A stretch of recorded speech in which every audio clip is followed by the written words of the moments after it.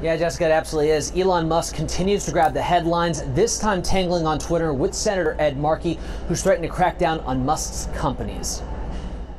I'd like to say it's funny, but it's really more disturbing than anything else. It's been a dizzying two weeks for security expert Robert Siciliano and all of us watching the turmoil at Twitter since Elon Musk's takeover. The latest incident happening over the weekend when the billionaire exchanged tweets with Senator Ed Markey, who demanded answers after a Washington Post reporter made a fake Markey account that Twitter verified. Musk writing, perhaps it's because your real account sounds like a parody. With Markey responding, one of your companies is under FTC consent decree, auto safety watchdog is investigating another for killing people, and you're spending your time picking fights online, fix your companies or Congress will. I like the idea of legislators giving Twitter a hard time due to the fact that Elon Musk is simply making a mess of things. Twitter paused its recently announced $8 blue checkmark subscription service on Friday as fake accounts exploded on the site.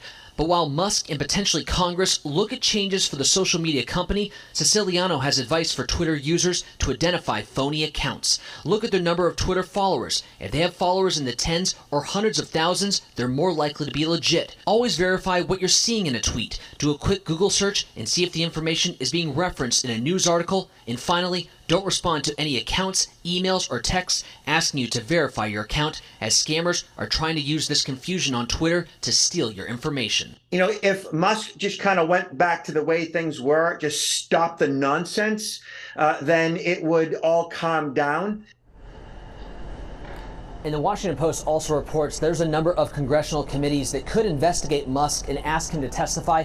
Among those, the Senate Commerce Committee, which Senator Ed Markey sits on. Reporting live in Boston, Matt Reed, WCVB News Center 5. Mm-hmm. All right.